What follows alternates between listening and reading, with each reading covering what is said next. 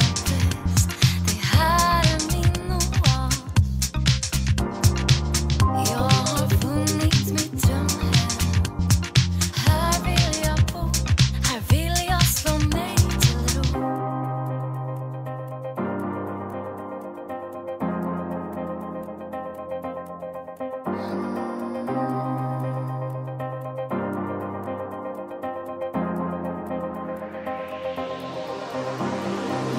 stop